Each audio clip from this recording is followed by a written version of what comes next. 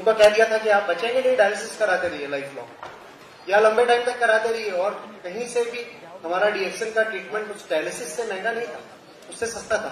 तो हमको कहते हैं डायलिसिस आप कराते रहिए, साथ में आप आरजीजीएम को स्टार्ट कर दीजिए, जितने रिक्वायर्ड हैं पेयर्स तो उसको। तो वो पेशेंट्स ले लेना शुरू किया, उनका क्रेटलिन धीरे धीरे कम होता गया। बॉडी में जो बहुत सूजन थी वाटर रिटेंशन था बहुत ज़्यादा बॉडी के अंदर। वो खत्म होता चला गया। और आज वो पेशेंट बिल्कुल हेल्दी लाइफ जी रहे one of the great achievement I एनोडर्मा I can not share sorry to say there are lot of leaders but I can not share my team work but I can share my profession मैंने अपने profession में जो achieve किया ganoderma के through आज मेरे पास बहुत दूर दूर से पेशेंट्स आते हैं जो गैनोडर्मा के ट्रीटमेंट लेने के लिए आते हैं। और वो मेरे पास ज़रूरी नहीं है कि वो उनको मैंने अपना डिस्ट्रीब्यूटर बनाया या नहीं बनाया। लाइक नेफ्रोटिक सिंड्रोम एक बच्चा मैं आपको शेयर करना चाहता हूँ एग्ज़ाम्पल एक बच्चा था नेफ्रोटिक सिंड्रोम का, वो पीजीआई लखनऊ से उसको जवाब मिल गया था कि आप ठीक है, ये बच्चा आपका ठीक ही होगा। They send parents back that this patient is going to die after few days उनको पता नहीं कहाँ से पता लगा वो मेरे पास मेरे से करीब दो ढाई सौ किलोमीटर दूर से आए थे। वो मेरे पास लेके आए literally you would nephrotic syndrome में पूरा बॉडी में पानी भर जाता है फेलियर के कारण होता है छोटे छोटे बच्चा हार्डली तीन, चार साल का। तो उससे बॉडी में से पानी निकल रहा फट रही जगह जैसे स्किन इतनी ज़्यादा सूखी थी। मैंने कहा, भैया पीजीआई से आप रेफर होके आगे खत्म मतलब आपको जवाब मिल गया है। अब इसके बाद क्या है मेरे पास देने के लिए?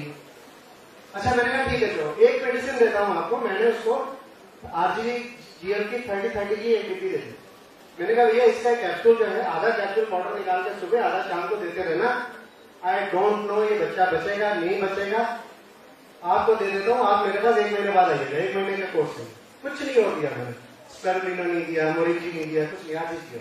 Patient was very poor you vote उसके तो रिलेटिव मेरे पास में रहते थे फार्म हाउस था ये was belong to six family तो वो मेरे पास, मैं भूल गया बात को देख के भूल गया। मैंने कहा बच्चे का है नहीं चलो दे देगा। लिटरली शायद पाँच या छह दिन बाद एक लेडी मेरे पास साइड पे स्कूल में आके बैठी जहाँ पेशेंट को देखते थे। तो आके बैठ के, एक बच्चा उसकी गोद में था। मैंने उससे पूछा हाँ जी, बताइए। कह रहे, डॉक्टर आपने मुझे पहचाना नहीं। मैंने कहा, नहीं, मैंने तो नहीं पहचाना। कह रहे, ये बच्चा भी नहीं पहचानते आप? मैंने कहा, नहीं, मैं इसको भी नहीं पहचानता। तो मैंने कहा, अरे, ये वही बच्चा जो एक हफ़्ता पहले मैं आपके पास लाया था। शी वॉज़ गैस्टिंग तो सांस नहीं आ रही थी ब्रेथलेसनेस हो रही थी, पानी निकल रहा था शरीर से। आपने तो वो दवाई दी थी वो कैप्सूल आरजीजीएल के। आज देखिए इस बच्चों को मैंने कोई एलोपैथिक दवाई ली थी तो शुरू में तीन दिन का एसिक्स की गोली वन फोर्थ टैबलेट एक डोज ले लेना एक बार, उसके बाद उसको भी बंद कर देना यू वुड बिलीव वो बच्चा बिल्कुल दूसरे नॉर्मल बच्चों की तरह था। उसका नेफ्रोटिक सिंड्रोम एकदम ठीक था, वो आज भी बच्चा मेरे पास थैंक्स करने के लिए खाली आते हैं। उन्होंने ऑक्सीजन आया उसके बाद विड्रॉ कर दिया, और वो बड़े बच्चा चल के मेरे पास आया उसके पेरेंट्स ने बताया कि ये देखिए, वही बच्चा है जो आपने ठीक किया था। वो थैंक्स कर उन्होंने कम से कम मेरे पास बीस पेशेंट भेजे उसी टाइप के। चाहे वो अडल्ट थे रीनल फेलियर के थे, या नेफ्रोटिक सिंड्रोम मैं आपको अपना एग्ज़ाम्पल बताता हूँ। मैं तो यूज़ कर रहा था but I was taking because this is a very good immunomodulator तो मैं एक आरटीजीएम रोज खाता था हमेशा। Because I have no disease तो मैंने थोड़े दिन पहले अचानक मेरे जॉइंट्स में पेन हुई, करीब आठ महीने पहले। तो मैंने टेस्ट कराया रूमेटाइड आर्थराइटिस एक फैक्टर होता है आर जिसमें सारे जॉइंट्स सूज जाते हैं और टेढ़े हो जाते हैं सारे, ऐसे हो जाते हैं। मोटे मोटे जाते हैं। आपने देखे भी होंगे, टेढ़े हो जाते हैं जॉइंट्स और that is a immunosuppressant disease immunosuppressant मतलब जहाँ आपका बॉडी का इम्यून सिस्टम बिल्कुल खत्म हो जाता है at that carries the other उसको जो आगे जो है, और डिज़ीज़ के लिए इन्वाइट करता है। धीरे धीरे आपके जॉइंट्स टेढ़े जाते हैं that has no treatment in any kind of therapy चाहे एलोपैथिक की बात करिए, चाहे आप आयुर्वेदिक की बात करिए, चाहे होम्योपैथिक की बात करिए, कहीं कोई ट्रीटमेंट नहीं है। लेकिन मुझे मालूम था कि मैं सारी ज़िंदगी दवाई खाऊँगा, और मुझे सिर्फ़ पेन रिलीफ कर पाऊँगा this disease will not go back मैंने लिटरली क्या किया, उसी दिन से चार पेयर आरजीजीएल लेना शुरू किया। And you won't believe third और फोर्थ है माई पेन वेनिश पेन बिल्कुल खत्म हो गई ज्वाइंट्स में अभी टेढ़ा करने को मैं शुरुआत within four to five days दुनिया में कोई भी डॉक्टर को ये क्लेम कर दे कि रोमेटाइड आर्थराइटिस फैक्टर जो पॉजिटिव होता है वो कभी भी नेगेटिव नहीं हो सकता आप किसी भी डॉक्टर से पूछिएगा आर ए फैक्टर कभी नेगेटिव हो सकता है सबके डॉक्टर्स यहाँ हो सकता है कुछ डॉक्टर्स भी होंगे is there any doctor here Yeah. Is there any doctor here doctor Manish. Yes. Is there any treatment is there any treatment जहाँ R A No. Factor negative हो सकता है No, no, no, no. I have Not at all. documentation for me and three or four other patients.